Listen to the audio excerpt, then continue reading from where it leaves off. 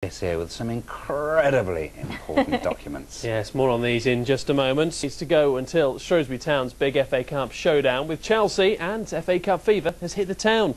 And no FA Cup run would be complete without the obligatory but sometimes infuriatingly catchy club song. Daniel Pallett braved the recording studios to bring us this report.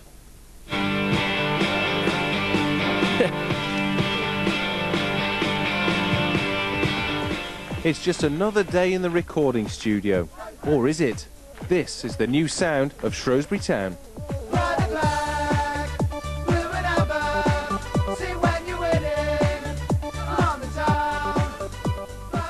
The song's called Flying the Flag and has been written to mark Shrewsbury Town's FA Cup giant killing exploits. They beat Everton in round three, now it's Chelsea in round four on Sunday. They'll be in good voice. The record's been recorded at Shrewsbury School by fans and mascot Lenny the Lion. It's the brainchild of songwriter Paul Jackson, but almost came out last season. Um, I actually wrote it last year um, for the promotion push, but we um, fell away unfortunately. But then we beat Everton, and I thought now's a good time to bring it back. Of course, FA Cup songs aren't new or the greatest listen. Remember Chas and Dave's Ossie's Dream in 1981?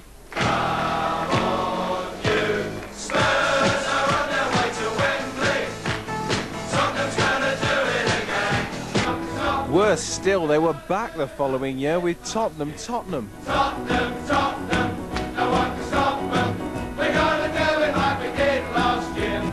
Sky Blues, shooting to win.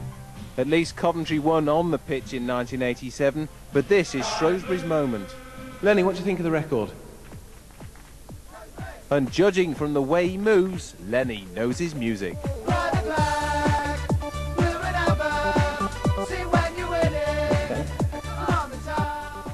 Apparently there's just a thousand copies available, so you'd uh, better rush out, hadn't you?